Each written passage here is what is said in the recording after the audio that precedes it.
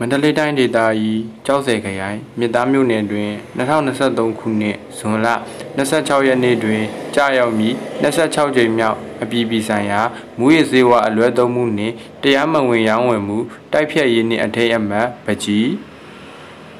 ကတ်တွန်ပိုစတာကွန်ပျူတာပကြီးပြိုင်ပွဲနှင့်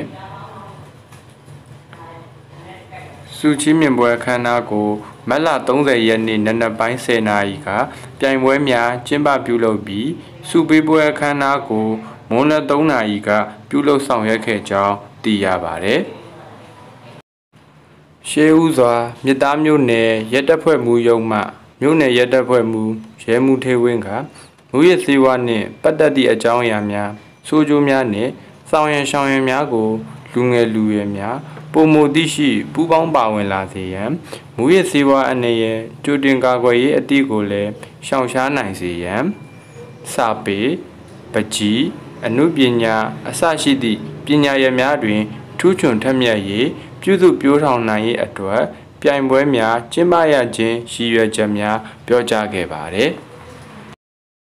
မန္တလေးတိုင်းဒေသကြီးကြောက်စဲခရိုင်မြစ်သားမြို့နယ်ရဲတပ်ဖွဲ့ကမြို့နယ်ရဲတပ်ဖွဲ့မှုရဲမှုတေးဝင်းဖြစ်ပါတယ် 2023ခုနှစ်ဇွန်လ26နေ့မှာကြောက်တဲ့26ကြိမ်မြောက်ပြည်ပဆိုင်ရာမူဝေစေဝါအလွဲသုံးမှုနဲ့တရားဝင်ရောင်းဝယ်မှုတိုက်ဖြတ်ရေးနေ့အထိတ်အမှတ်ဖြစ်ယနေ့မှာတော့မူလာတန်းအလဲတဲ့အထက်တန်းကျောင်းသားကျောင်းသူများရဲ့ပကြီးကာတွန်းပိုစတာကွန်ပျူတာပကြီးပြိုင်ပွဲတွေကိုကျင်းပပြုလုပ်ပေးတာပဲဖြစ်ပါတယ်အခုလိုကျင်းပပြုလုပ်ရရွေးချက်ကတော့ကျောင်းသားကျောင်းသူများနေပြီးတော့နိုင်ငံတော်တိုင်းတာအနေနဲ့ရောမူဝေစေဝါအလွဲသုံးမှုတရားဝင်ရောင်းဝယ်မှုတိုက်ဖြတ်ရေးမှာပုံမှုသိရှိပူးပေါင်းပါဝင်လာစေဖို့ရည်ရွယ်ပါတယ်ခင်ဗျာ ဆရာကြီးဦးတင်ထွန်းအောင်မှပြိုင်ပွဲစီမင်းစည်းကမ်းများကို ရှင်းလင်းပြောကြားခဲ့ပါတယ်။ထို့နောက်မြစ်သားမြို့နယ်အတွင်းရှိအထက်တန်းအဆင့်အလယ်တန်းအဆင့်မူလတန်းအဆင့်ရှိကျောင်းသားကျောင်းသူများကပကြီးကာတွန်ပိုစတာနှင့်ကွန်ပျူတာပကြီးပြိုင်ပွဲကိုဝင်ရောက်ရှင်ပြိုင်ခဲ့ကြပါတယ်။ကျွန်တော်ကတော့မင်းတို့ရဖြစ်ပါတယ်ခင်ဗျာကျွန်တော်က 26ကြိမ်မြောက်ပြည်ဆိုင်ရာမူရစေဝါလက်သုံးမိနစ်တရားမဝင်ရောင်းအောင်တက်ခဲ့ရင်းဒီကွန်ပျူတာပကြီးပြန်ပွဲမှာဝင်ရောက်ရှင်ပြိုင်တာဖြစ်ပါတယ်ကျွန်တော်တို့လူကြံပွဲရှင်ပြိုင်ရတဲ့အတွက်ကျွန်တော်မျိုးသားစစ်လူငယ်လူငယ်တွေကမူရစေဝါရဲ့ဆိုးကျိုးတွေနဲ့စောင်းဆောင်ရန်ချက်တွေကိုပုံမသိရှိနားလည်လာပါတယ်ခင်ဗျာ